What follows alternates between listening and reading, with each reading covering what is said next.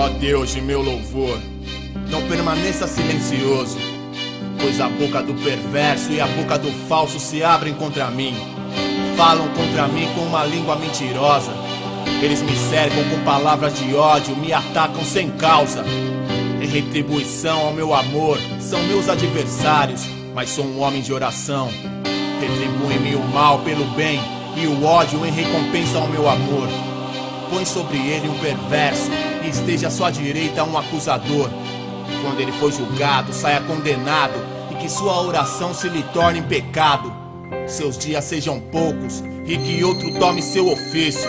Seus filhos vagueiem, mendiguem e esmolem entre habitações assoladas. O credor confisque tudo que ele tenha e estranhos expoliem o fruto do seu trabalho. Não tenha ninguém que se compadeça dele e que não haja quem tenha misericórdia de seus órfãos.